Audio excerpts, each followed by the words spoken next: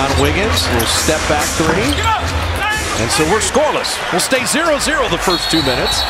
And then look, look at Clay Klay Thompson and Thompson, McDaniels. What is going on with that? Wow.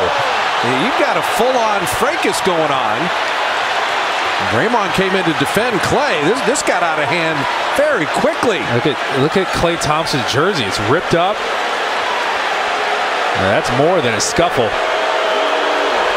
We're going to have to go to replay and look at all of this, but Klay Thompson's never been involved in anything like that. What, what was Jaden McDaniels doing? They were going at each other's heads. That was serious. I mean, as you said, Klay's going to need a whole new jersey. Klay is as mild mannered a player as we've ever seen. They're just running down the floor and they got tangled up. I want to see who initiated it first, though.